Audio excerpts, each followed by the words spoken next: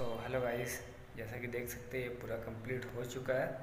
और चलिए इसको कैसे कंप्लीट किए है, आपको दिखाते कि किस तरह से हम इसको कंप्लीट करें।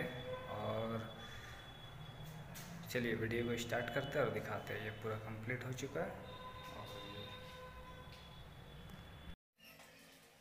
जैसा कि देख सकते हैं दोस्तों, ये भी पूरा मार्किंग कर रहे हैं। और हमारे पास एक स्केल है और एक पेंसिल है, उसे से पूरा मार्किंग कर रहे मार्किंग करने के बाद पेंट इसमें स्टार्ट करेंगे दोस्तों। जैसे कि देख सकते हैं, ये दस दस इंची में मैं दागी लगा रहा हूँ। दस दस इंची में दागी लगाने के बाद, उसके बाद इसमें कलर उतारूँगा। तो वीडियो पसंद आए तो लाइक भी कर दीजिएगा और चैनल को सब्सक्राइब कर लीजिएगा इस तरह का वीडियो देखने के लिए। तो दोस्तों चलिए आप वीडियो आप कंटिन्यू देखिए, उसके बाद आप काम सीखिए तो चलिए दोस्तों।